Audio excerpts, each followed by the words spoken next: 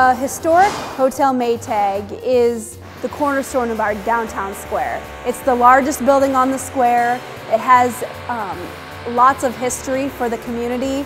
Built by F.L. Maytag. Newton was home to Maytag for almost 100 years. It, it says a lot about who we were who, and who we are. The ballroom that we're standing in uh, is an example of one of the uh, amenities that he gave not only to his employees where they would have all their, their major meetings here, but it was a place where the community would have their events, their balls, uh, their graduation ceremonies. I remember walking into this space and pushing up ceiling tiles in these little bitty offices and looking up, you know, 15 feet and seeing this plaster that was, you know, just flaking off of the ceiling. There were pipes running through it. It, it was almost cruel how much it had been damaged and just sort of ignored and thrown away. You could see that once you start yanking down tiles and you open this thing up, I mean, this is a spectacular space.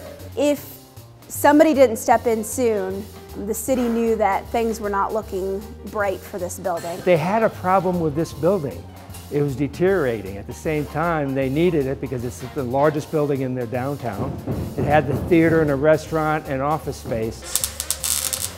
So uh, when I got involved with uh, renovating this building, it had to do a lot with the leadership of uh, uh, the mayor and the leadership of the city council. And I can say without their commitment and advocacy, this would not have happened. The city of Newton was convinced that this project was feasible and that they wanted to support it. They decided that they were going to make it happen. They wanted the theater, the restaurant, the retail spaces to remain. They wanted this space to be redeveloped and they wanted apartments. So we have 45 apartments, one and two bedroom apartments uh, that are on the third, fourth, and fifth floors some here even on the second surrounding the, the, uh, the ballroom, that uh, we will fill up uh, very quickly with uh, Newton residents. When people of Newton decide to go to a movie, they're not going to go to Altoona.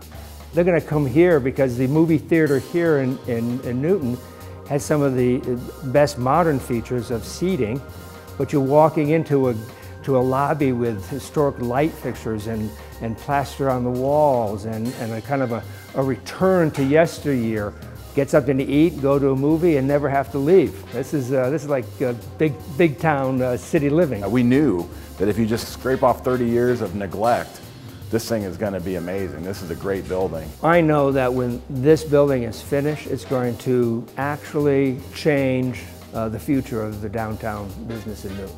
It's that important of a building. When it's finally done and we like, you know, it'll, it'll stun everyone. It's going to be a contributing member of society again on the square in Newton, hopefully for another 100 years. Hopefully it'll outlive all of us.